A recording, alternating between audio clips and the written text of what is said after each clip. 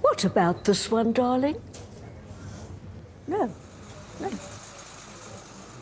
No.